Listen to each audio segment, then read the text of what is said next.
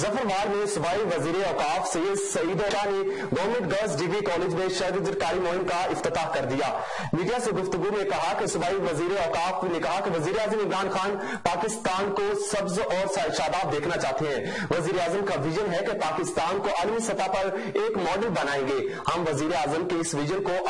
अमली जामा पहनाएंगे उन्होंने assistant commissioner की खिदमात को सराहते हुए कहा कि शजर कायमोन के हवाले से असिस्टेंट कमिश्नर मियाँ मोहम्मद नजीर का किरदार काबिल तहसीन है इससे कबल असिस्टेंट कमिश्नर मियाँ मोहम्मद नजीर ने government troll health centre Zafarwal का विजिट भी किया उन्होंने सफाई के हवाले से अस्पताल को चेक भी किया और शजर कायमोन जारी रखते हुए अस्पताल में पौधे भी लगाए